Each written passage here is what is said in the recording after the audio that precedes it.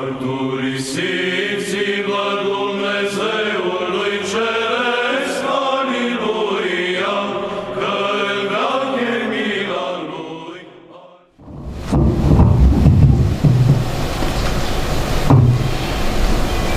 Tu n-ai văzut pădurea, copile drag al meu.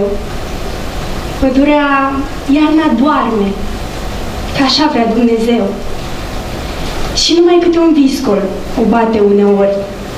Ea plânge atunci cu hohot și cu mult fior. Și tace apoi și adorme când viscolele pierd. În noaptea asta însă vin îngerii din cer și zboară încet de-a lungul pădurilor de brad și cântă încet și mere și flori din sân le cad, iar florile sanină de ramuri până jos și cântec și lumină și atât de frumos. Iar brazii, brazii se deșteaptă și se miră. Ce-o fi asta? se bucură și cântă cu îngerii și ei. Tu n-ai văzut pădurea, copile drag al meu. Dar, dar uite ce trimite din trânsa Dumnezeu. Un înger rupse o creangă din brazi cu făclii, așa cum a găsit-o, cu flori și jucării. Departe, departe, într-un staul, e în fașa acum Iisus. Și îngerii, oh, câte și câte i-au adus. Dar El, El e bun. Și împarte la toți cât îl iubesc. Tu, tu vino și te roagă. Spune, Doamne, îți mulțumesc.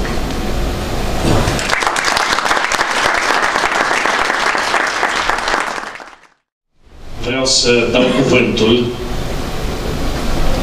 pot să spun unui prieten și unui drag, unui om atât de drag, care eu de câte ori mă duc la dânsul, pot să spun acasă, întotdeauna uh, vezi discreție și uh, dăruire. Atât uh, uh, doamna cât și părintele, îi găsești mereu înconjurați de copii. Părinte, din experiența spirituală și umană, care ar fi o lumină cu care să plecăm în acest timp al Adventului la drum în întâmpinarea sărbătorii Crăciunului? Aș vrea să vă mărturisesc ceva personal. M-am pregătit cu un subiect.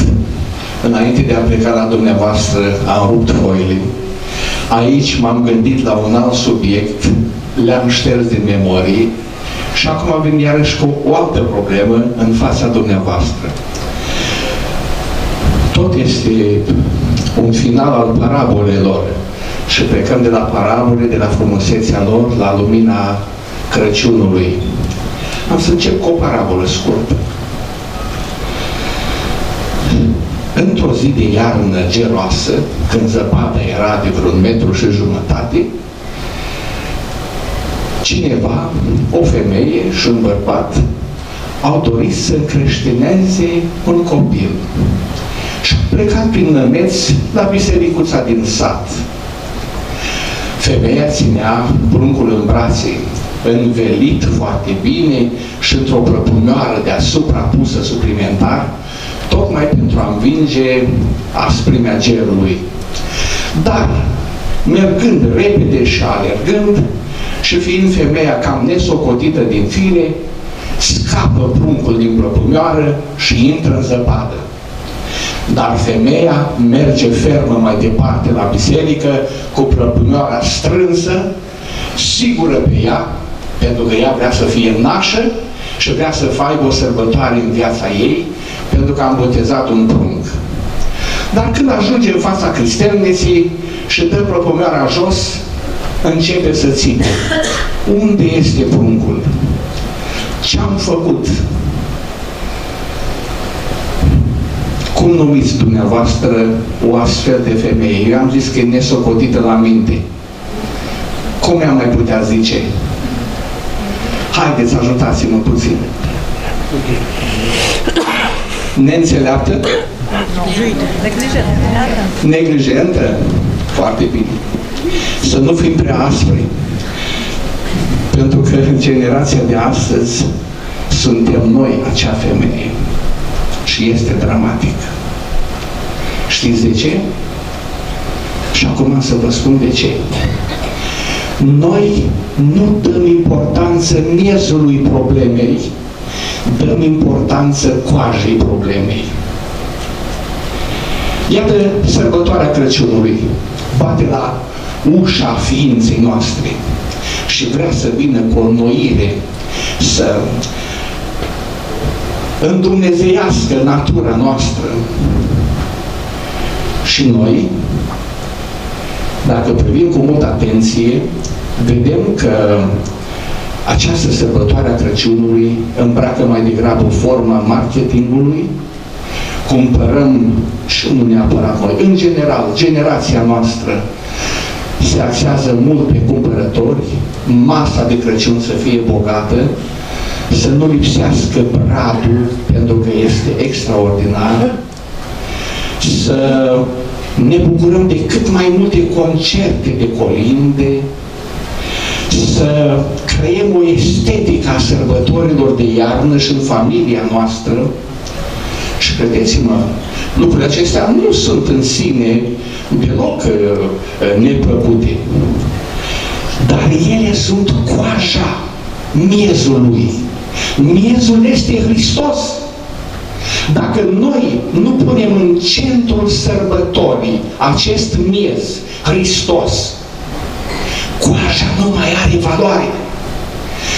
Dacă eu aduc în fața dumneavoastră două coșuri, un coș plin de coajă de nuci și un coș cu nuci cu tot cu coajă, care are valoare? Coșul acela cu nuci care are coaja, care nu sunt desfăcute. Miezul dă valoare cojii, dă valoare coajei. Miezul este cel care dă valoare coajei. Să nu uităm.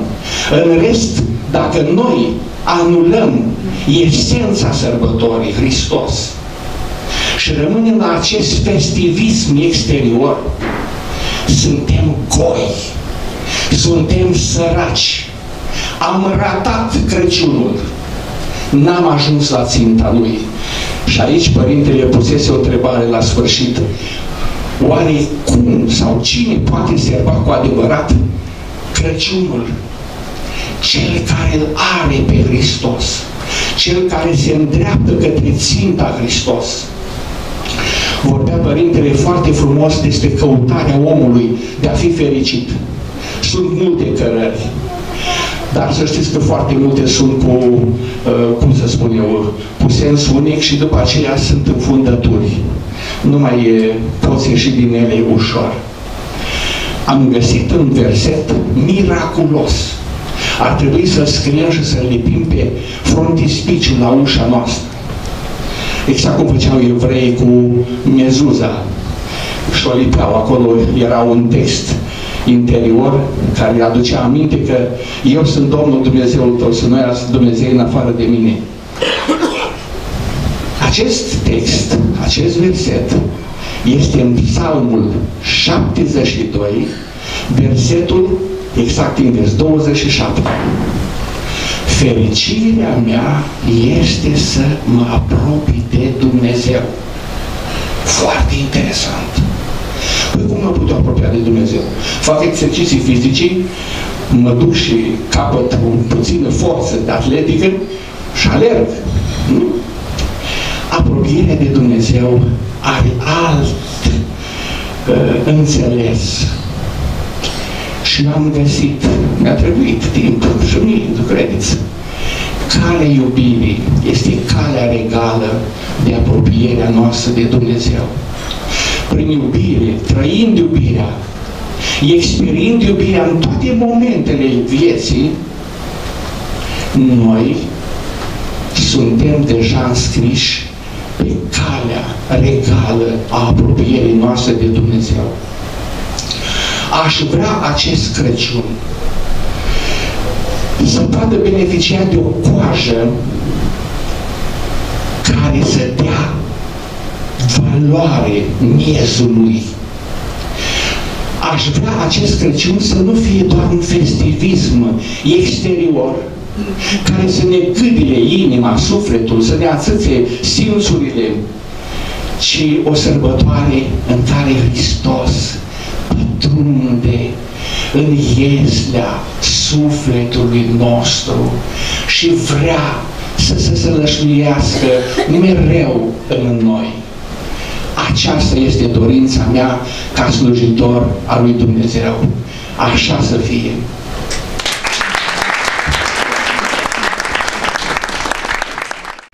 În același ton, Crăciunul ne reamintește că Dumnezeu intră în istoria noastră.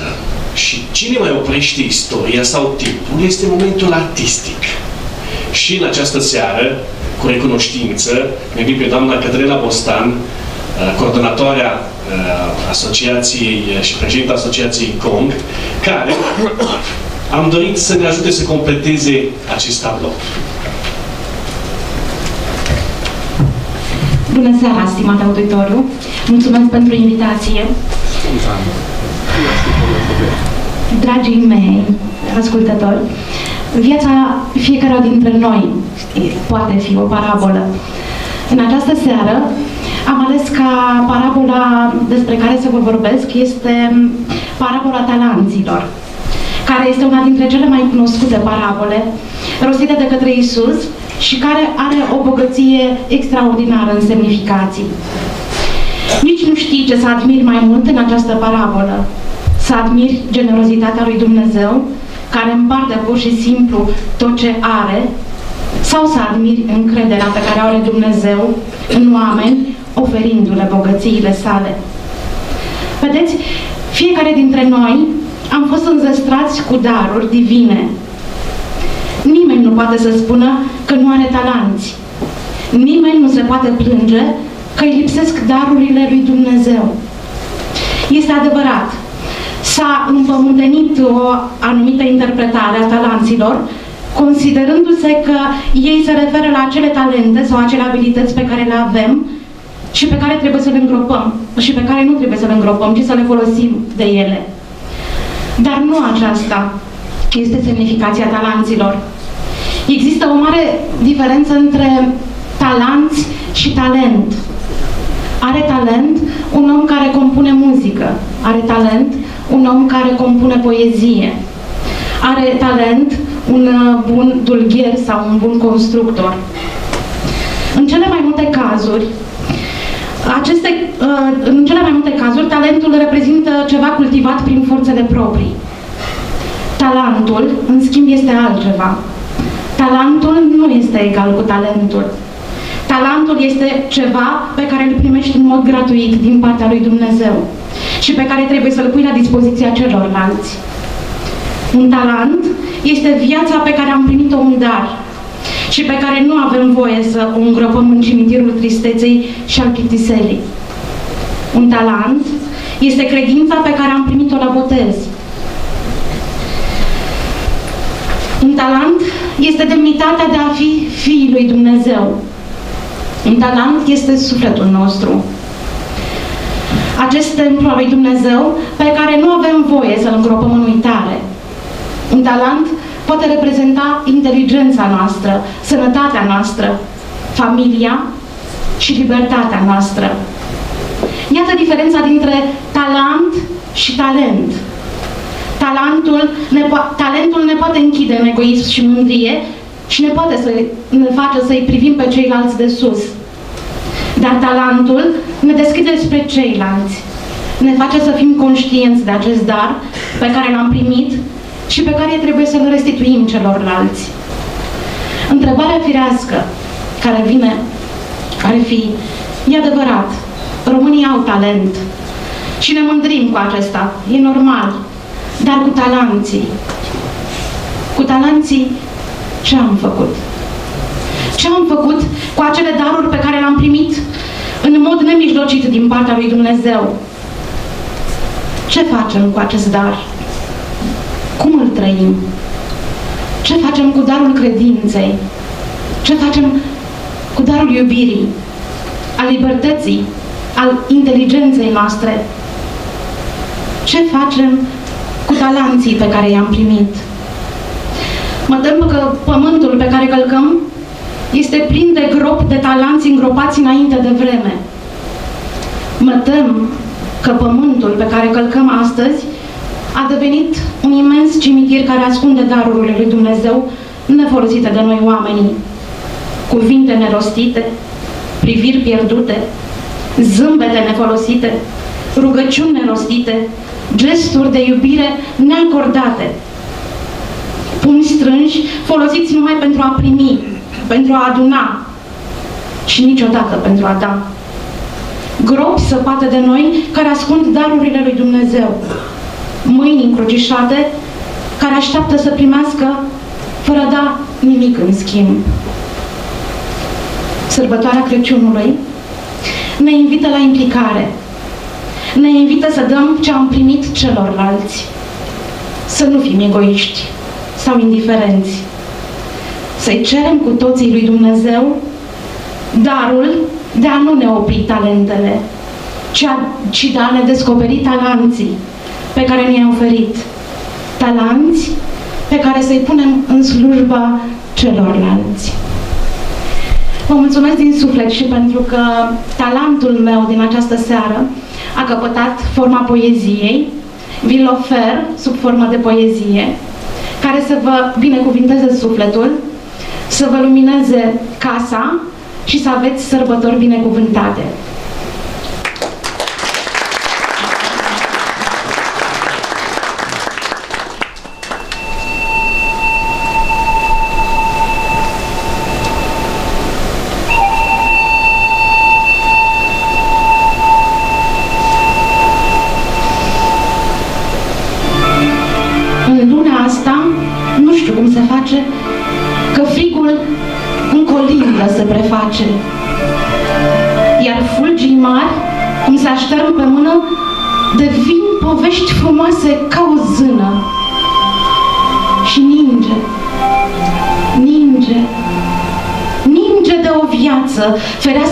Îmbracă în flori de gheață, iar vântul se aude dinspre ușă, îngrijorând pisica jucăușă.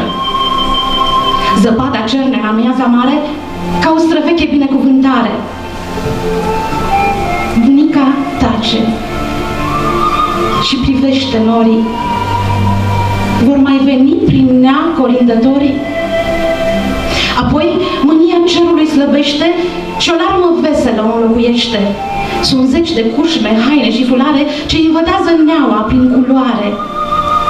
Se fac poteci ce șerpuiesc cu greu, ce duc spre oameni și spre Dumnezeu. Spre seară, gata e cel mai mic cătun să-l viziteze în noapte Moș Crăciun. Copiii stau cu minți pe sub perdea ca să primească în dar o acadea. Deodată, Doamne, te cuprind fiorii, bunica strigă, vin colindătorii, iar casa noastră mică de la țară devine cer și câmp de primăvară. Colinda veche, simplă, românească, înnobilează prispa țărănească. Se aud în noapte plin, prin turbin de sânge, copii ce cântă ca un cor de îngeri. Veniți cu noi în noaptea asta sfântă, când liniștea e cea care cuvântă.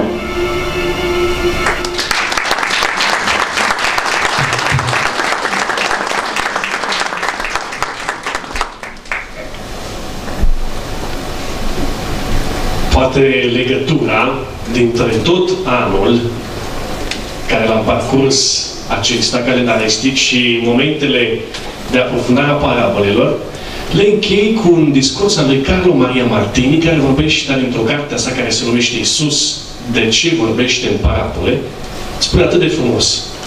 Isus se folosește de parabole pentru că vrea să afirme cum acțiunea lui Dumnezeu poate să fie povestită. Pare ciudat, dar există o poveste despre Dumnezeu. Revelația creștină învață că Dumnezeu e o istorie. Este o persoană, este libertate și în felul său poate avea o istorie. Pentru că Dumnezeu se exprimă, se comunică, se dezvăluie și de aceea faptele lui Dumnezeu se pot spune prin intermediul poveștilor umane. Pilda fiului risipitor, care pornește de la tandriția unui tată pentru copilul său, pe și sfârșiat, spune un fapt despre Dumnezeu. Din ceea ce se întâmplă în viața noastră, putem deduce cum Dumnezeu acționează. Din lucrurile subiective care se întâmplă în, în viața mea, înțeleg cum Dumnezeu acționează cu fiecare. Și foarte frumos, omul, cu istoria sa, este povestea cea mai exigentă a lui Dumnezeu. Aceasta o să spunem cu parabole și le mulțumesc invitațiilor din această seară, părintelui moderator Andrei Ioniță, care ne-a părăsit la un anumit moment, părintelui Bernardin, care ne-a împărtășit din gândurile sale, din trăiri și mai ales cum putem să, să căutăm în această perioadă fericirea și cum parabole ne ajută și cum putem trăi Crăciunul. După aceea le mulțumesc celor care ne-au arătat atâtea căi frumoase în această seară de a trăi Crăciunul. Luciei, lui Adrian, Sora Emilia, oameni care sunt activi, care ne invită și pe noi să fim activi. Mulțumesc Părintelui Mihaiță Popovici pentru că întotdeauna colaborează cu drag și ne ajută în aceste momente să clădim, să ne clădim și spiritual, fiind mereu un om al rugăciunii, cu mâinile mereu, cu, cu, uh, cu mâinile mereu suflecate și nu puteam să încheiem mai frumos în această seară decât să trecem această, aceste parabole în viața concretă. Cu toți avem talente, cu toți avem talanți. Și mulțumesc, doamne Cătălina, pentru că e și un moment și o recunoștință publică, pentru că de fiecare dată momentele artistice, multe dintre ele îi se datorează dânsei și colaboratorului și mai ales că lucrează la șlifuirea talentelor și mai ales la descoperirea talanților. Vă mulțumesc! Mulțumesc întregii uh, uh invitațiilor din această seară. Vreau să mulțumesc și copiilor, părinților, care au fost în această seară, doamnei, uh, doamnei învățătoare uh, Carmen Axinia și mă bucur să văd și pe doamna, doamna învățătoare, Dana Smeia, care n-au apucat să, să, să-i mulțumesc și recunoștința ei pentru toată activitatea și mai ales pentru momentele, momentele artistice. Vă mulțumesc dumneavoastră. Și vă mulțumim dumneavoastră pentru că ați fost alături lună de lună aproape la momentele noastre. Asta din timpul dumneavoastră. Sperăm că am fost la înălțimea uh, așteptărilor dumneavoastră și sperăm și anul viitor să vă fim alături. Vreau să mulțumesc sponsorilor noștri, de toate uh, hotelului Roman, prin doamna um, Loredana Andrici, pentru că de fiecare dată ne pune la dispoziție această, această, acest complex mereu cu dragă inimă.